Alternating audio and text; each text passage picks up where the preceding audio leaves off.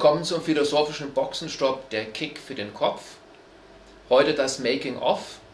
Wir haben jetzt ja einige Folgen hier Bildungsfernsehen für Anfänger gemacht. Ich habe als Moderator vor mich hin dilettiert und der Regisseur und Schauspieler Tom Müller, der heute hier auf der Bühne des Zehnthauses in Wielen mit mir zusammensitzt, war für die Technik verantwortlich und ich fand es spannend, mich mit ihm mal darüber zu unterhalten, was man denn tun muss, um halbwegs professionelle Videoclips produzieren zu können. Aber vielleicht, Tom, sagst du dir erstmal ein, zwei Worte zu deiner Person. Ja. Gut, äh, ich versuche das ganz kurz zu machen. Ich bin gelernter Schauspieler, habe auch lange im Beruf gearbeitet, kam parallel dazu auch sehr schnell äh, an die Regie und mittlerweile spiele ich wenig, mache aber sehr, sehr viel Regie und schreibe auch Theaterstücke. Ja, vielen Dank, Tom. Wenn jetzt eine Volkshochschule auf dich zukäme und würde dich zunächst einmal fragen, ja, wenn wir wollen so ein paar Videoclips produzieren, was brauche ich denn an technischer Voraussetzung und natürlich bei Volkshochschulen immer wichtig, was wird, kostet uns das in etwa? Es kostet horrende Summen. Und was man braucht, ist eigentlich von technischer Seite her viel mehr, als man denkt und viel weniger, als man denkt. Ähm, hoffentlich wird die Antwort jetzt nicht zu lang. Ähm, eigentlich ist das Wichtigste, dass man irgendwas damit aussagen will. Dass wenn man durch eine Kamera guckt und nachher kommt da irgendwas, was man zeigen will, dass da auch etwas ist, was man zeigen will, dass man sich selber was denkt dabei und das versucht zu verfolgen. Auf der anderen Seite, äh, wo es wirklich schwierig wird, denn äh, Ton ist immer sehr, sehr heikel aufzunehmen. Da muss man ein bisschen was in die Hand nehmen. Man kann vielleicht im Notfall mit dem iPhone oder mit einem äh, guten Android-Handy ähm, äh, Bildaufnahmen machen.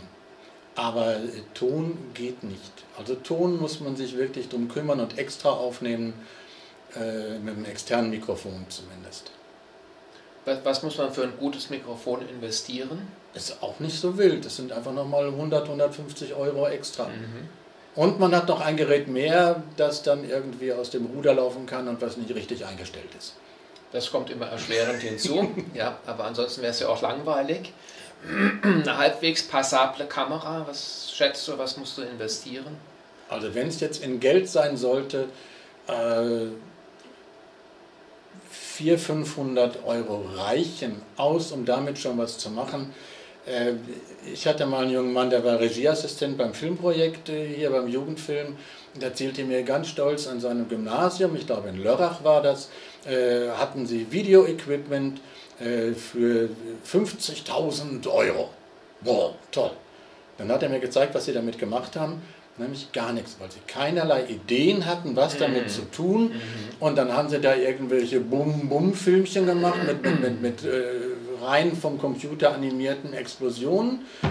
Beim nächsten Mal dann noch zwei, drei mehr Explosionen und anschließend wussten sie gar nichts mehr damit anzufangen, weil kein Mensch ihnen gesagt hat, was kann man damit künstlerisch machen. Äh, da braucht es dann äh, entweder einen sehr engagierten, guten Lehrer, den das wirklich interessiert, viel, viel besser noch äh, ein Fachmann, der mit den Jugendlichen oder dann auch an der mhm. Volkshochschule mit den Leuten arbeitet und sich was Künstlerisches dabei denkt, weil sonst ist das ganz schnell vorbei, der Spaß am Filmen. Ja, das glaube ich auch. Was natürlich immer ein großes Thema ist, Thema Licht. Ich glaube, da halten sich die Investitionen in überschaubaren Grenzen, oder sehe ich das richtig? Wir sitzen jetzt hier auf der hinteren Kamera, sieht man, Sie haben mit zwei Kameras gearbeitet. Oh äh, vor zwei kleinen Scheinwerfern aus dem, aus dem Baumarkt äh, und die funktionieren wunderbar. Die kosten 30 Euro pro Stück mit Stativ. Mhm. Die kann man dann auch noch dimmen, wenn es sein soll. Äh, man braucht nicht so wahnsinnig viel. Man muss mhm. das wollen und zeigen wollen. Mhm. Also so viel zum Thema technische Voraussetzungen. Man braucht natürlich immer jemanden, der Technik bedienen kann. Äh, das ist ganz klar die teuerste Technik und die beste Technik nutzt nichts wenn ich niemanden habe, der diese Technik, Technik echt auch kompetent bedienen kann. Das scheint mir, glaube ich, der äh, matchentscheidende Erfolgsfaktor zu sein äh, bei diesem ganzen Geschehen. Ja, du hast eigentlich schon ein paar Worte gesagt. Ich habe mir hier mal das Stichwort notiert, Dramaturgie. Äh, ich denke, auch ein Videoclip braucht eine gewisse äh, Dramaturgie. Was sagst du als Regisseur äh, zum Thema äh, Wichtigkeit von dramaturgischen Aspekten, wenn man so ein, auch wenn es Bildungsvideos sind, wenn man so ein Video aufnimmt?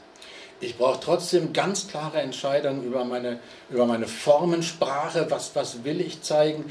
Die Dinge, die wir hier so ganz natürlich runtergedreht haben, unterliegen trotzdem einer ganz klaren Bildsprache, die, die wir entwickelt haben, die ich entwickelt habe im Laufe der Zeit. also man muss sich ganz genau etwas überlegen und vorstellen, das ist es, was ich zeigen will. Und man kann nicht einfach sagen, ich mache mal und wird schon was bei rauskommen.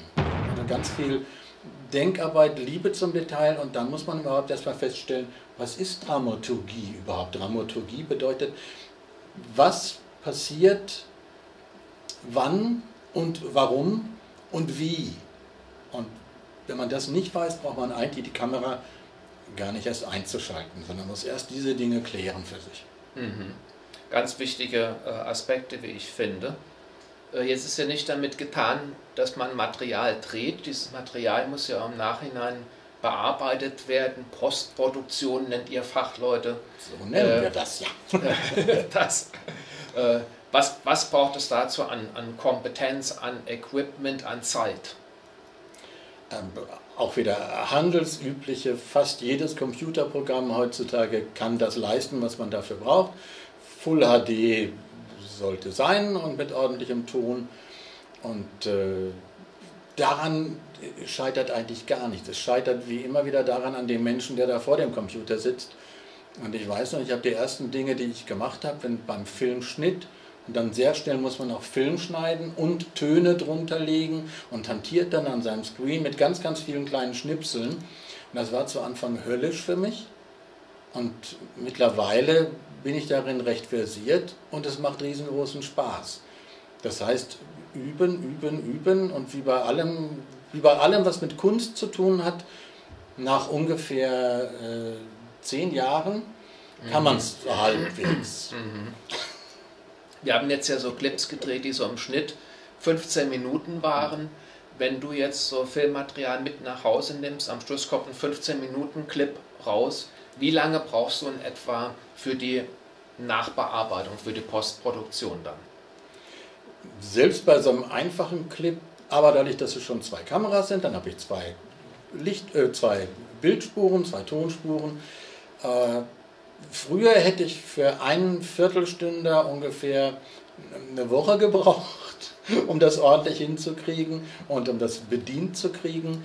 Und äh, jetzt ja, wie viel Material habe ich?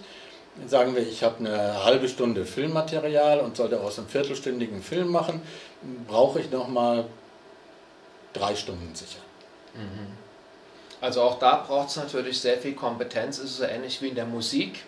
Ein sehr guter Musiker, ein sehr kompetenter Musiker wird auch aus einem relativ günstigen Instrument relativ wohltönendes hervorbringen können und äh, jemand, der musikalisch nicht sehr kompetent ist, dem nützt die teuerste Eric Clapton Stratocaster für 12.500 Euro auch nichts. Er wird trotzdem Schrott produzieren. Er spricht gerade von mir, weil ich habe diese Wahnsinns Fender Stratocaster von Eric Clapton und produziert er nicht viel mit. Er wollte damit nur sagen, guter Musiker, schlechter Musiker. Recht hat der Mann. Wollte ich eigentlich nicht, aber wo, wo du es gerade so sagst, äh, ist es mir gar nicht so unrecht. Muss ich sagen, das war ein wunderbarer Schluss, lieber Tom. Äh, danke, dass ich mich mit dir unterhalten äh, konnte und ich hoffe, wir haben einige Anregungen gegeben, was die Produktion von solchen äh, Lehrvideos, Videoclips, Videopodcasts angeht. Ja, danke. Danke.